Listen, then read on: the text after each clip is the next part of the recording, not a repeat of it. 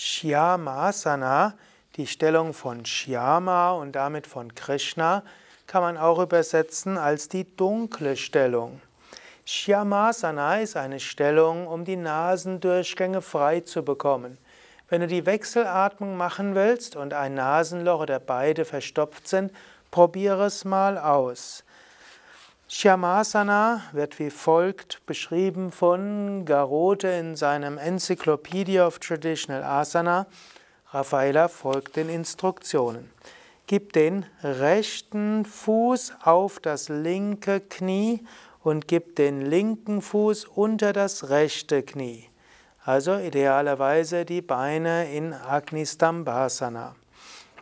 Du kannst natürlich auch eine andere Sitzhaltung annehmen.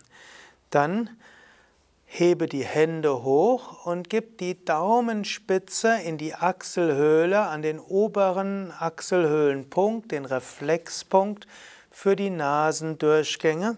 Gib die Finger auf die Brust und schaue dabei zum Punkt zwischen den Augenbrauen. Wenn du diese Stellung etwa eine Minute einnimmst, wirst du vielleicht spüren, dass deine Nasendurchgänge sich etwas mehr öffnen. Schreib doch in die Kommentare, wie diese Stellung auf dich wirkt. Es braucht etwas Übung, um mit den Daumen tatsächlich den richtigen Reflexpunkt gefunden zu haben.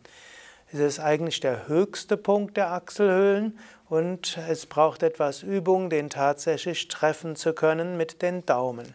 Wenn es dir einmal gelingt, den richtigen Punkt zu treffen, wirst du keine Probleme mehr haben mit der Wechselatmung, selbst wenn aus irgendwelchen Gründen die Nasendurchgänge mal etwas verschlossen sind. Natürlich, Yamanasana bewirkt auch keine Wunder. Das heißt, wenn du eine massive Erkältung hast, dann wird wahrscheinlich Neti und Dauti und Fasten noch effektiver sein. Ja, schreib's also in die Kommentare und teile auch die Sendung mit anderen, denn dieses Prinzip, die Nasendurchgänge so zu öffnen, ist noch nicht ausreichend bekannt. Also ist schön, das mit anderen zu teilen.